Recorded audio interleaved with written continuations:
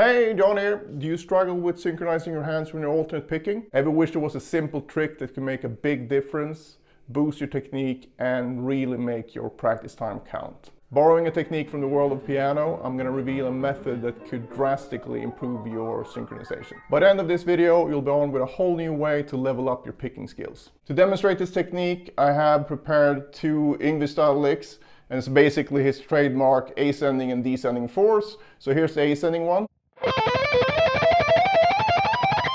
And here's the descending one.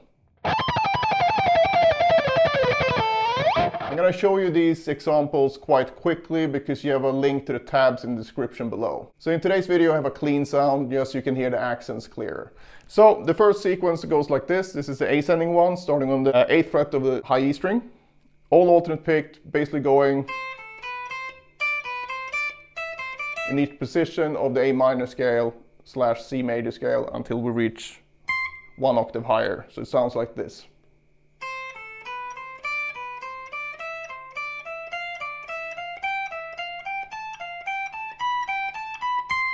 The descending one, you start on A and do basically the same thing backwards. So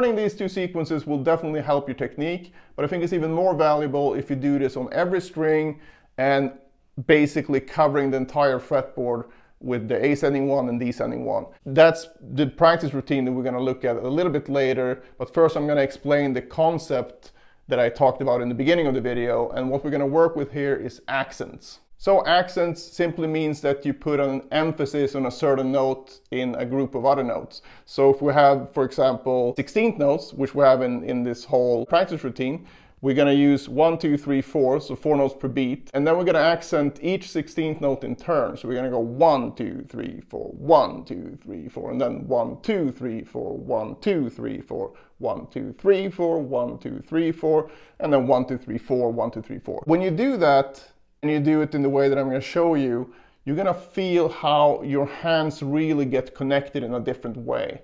And this happens due to a thing that I call the spotlight effect. And that's not an official term, it's just what I call it. And basically what it means is that whatever note you're accenting, your ear is going to be drawn to that note more so than the other ones, which will enable you to find potential issues in your synchronization. And you can't fix a problem you don't know that you have. So basically this will reveal any type of synchronization issues and it will force you to slow down because it's going to be hard to sit there and fool yourself when you know that, oh, that's not exactly right. So that's why this is so helpful. And another thing that I've noticed, both with my students and also in other guitar players, like professional guitar players, is that when they play something really fast, you rarely hear the first note of the beat being out of sync because a lot of people are so used to working on really hitting that downbeat the whole time. That's basically the spotlight effect in action. Uh, the problem is if you only accent one note out of six in this case, or one note out of four, for example, in the in the sequence we're gonna look at today. So this is a big reason why a lot of people run into problems because they're taught to accent the downbeat and just do that and everything will be good. But if you do that and you go slightly faster than your technique allows and you can just feel that, well, at least I'm hitting the downbeat. It's very easy to lose focus of the other notes and you can't even really hear that whatever you're sitting there repeating is not really locking in properly. So by accenting all the other notes, it's basically like looking under the rug and saying like, oh shit, that didn't look good, I need to clean this up. But now you will actually be able to clean it up because you can see the problem, you can hear the problem, and it's fairly easy to fix. It's just a matter of slowing it down enough so everything is perfectly synchronized, and then you'll feel practice session by practice session that your synchronization just keeps improving all the time. So a few key points to keep in mind. You don't want to over accent, you don't want to do this. And the reason for that is that you can probably even see it in my right hand that I'm sort of changing my technique for, to do this because I need to whack the string so effing hard. Uh, so you don't want to do that. So try to keep the accent just slightly above what you normally do. So something like that. And you have to be the judge of that. But it's really important to make sure that you don't over accent. Another key point is the left hand because you know that's the hand we want to synchronize with. So when you practice either this routine or you know whatever else you're trying this on, make sure that whatever note you're accenting that you just hit that left hand note a little bit harder, just a smidge, just so you can feel that extra connection between the two hands. That really helps a lot.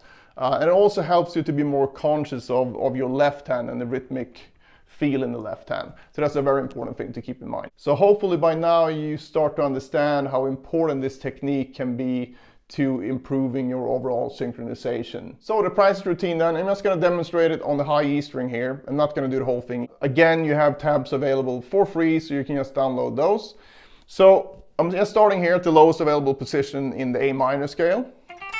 And I'm gonna start by accenting the downbeat, so one, so you go one, two, three, four, one, two, three, four, one, two, three, four, one, two, three, four, and all the way up. And then when you go back, you do the same thing, one, two, three, four, one, two, three, four, all the way back. If you're successful at doing that, meaning you don't make any mistakes, then you can go on to the second accent. Uh, and this one might be a bit harder because one, you're gonna hit it with an upstroke, but also rhythmically it's going to fall on a, on a weaker beat so it can feel less stable than the, the downbeats, so the one and the three because one and three falls on the downbeat and the eighth note upbeat respectively and that usually feels easier to, to keep track of. So now we're to be in between the downbeat and the upbeat. I want you to make sure that when you accent each of these that your foot is always on the downbeat. So your foot should always be on one. And I also suggest that you don't do this with a metronome at first. Just keep your foot going. So you go one, two, three, four, one, two, three, four, this being your foot. Uh, so when you accent two, make sure that your foot is still on one. So you go one, two, three, four, one, two, three, four. It's very important to do that. And also, if nothing else, Al Di Meola will haunt you if you don't keep your foot going the whole time. So the second accent sounds like this. One, two, three, four, one, two, three, four, one, two, three, four, and so on. And then you do all the way up, and then you go back with the descending version. Then you do the same thing with the third, so you go one, two, three, four, one, two, three, four, and the fourth. One, two, three, four, one, two, three, four. And the fourth, 16th will also feel a bit in between everything because it, now it's going to be between the eighth note upbeat and the downbeat. But this will also help you with your timing because being able to hold your foot like this uh, as you play an accent the second 16th and the fourth 16th, that's going to be very, very beneficial for your timing. So just a reminder of the practice routine again. You start on the high E string, you start with accenting the downbeat, so the first note of each beat, which should be fairly easy all the way up, all the way back, and then you do that with the second 16th, the third, and the fourth. And when you've done that successfully, you do the same thing on the B string, G string, D string, A string, E string, and low B if you have that as well. So that's the whole routine. So basically, you're gonna repeat every string four times if you get it right every time. And if you find that you have an issue getting something right, don't, don't freak out. And it's totally okay to practice the second and fourth, for example, slower than you do the first and third. So you can vary the tempos if you want, that, that's no big deal. So the point is not to get all of these accents up to the same speed, because I think accenting the upbeat uh, with an upstroke will probably always be harder than hitting just a downbeat with a downstroke, for example. So it's not about that, it's about revealing your synchronization issues.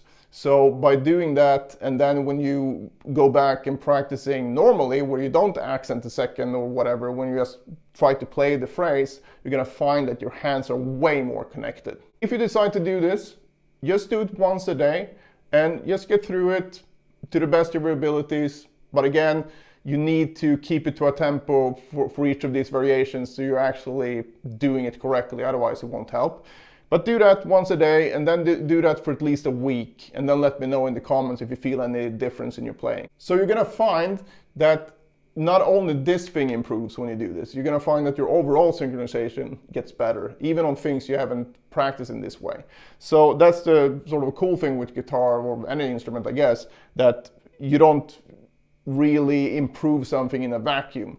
But it's also a, a downside to that. Like if you sit there and try to learn something and, and you're super sloppy, you can't really compartmentalize that. That's gonna sneak into your, you know, the other side of your playing as well. So that's why I think it's so important to focus on accuracy when you practice. And I know we looked at speed building techniques as well, but if you look at those, there always is the side of accuracy. There's never just, you know, oh yeah, just play as fast as you can and don't worry about accuracy, that comes later. I don't think it does, really. Uh, it's fine to try to push it at some point just to go for it and see what happens, absolutely. But spending too much time on that during guitar practice is not going to be beneficial. Otherwise, it's like having a golf instructor tell you to like, yeah, work on your swing. Just get out there and then just, you know, swing away. And then, I don't know, it will probably get better at some point because something happens, something magic happens when you've done 10,000 shitty swings. The skies open up and the 10,001st will just magically be perfect that's not real life to me. So whether you want to do this routine or not, just make sure that you apply this concept to other things as well. Yes, you can really ingrain this into your practice toolbox. So that's the whole point of all these uh, practice technique videos is that you apply it to the things that you're most interested in. If you apply this to, let's say, six notes per beat, you obviously will have six variations. So whatever subdivision you're using, whether that is five notes per beat, six notes per beat, triplets, whatever, you only have as many variations as you have notes per beat. So if that wasn't obvious, I hope I cleared that up. You can download the tabs for the routine in the description below and you have everything written out in detail. If you still have any questions or if something that's unclear, just let me know in the comments and I'll try to help you out as soon as possible.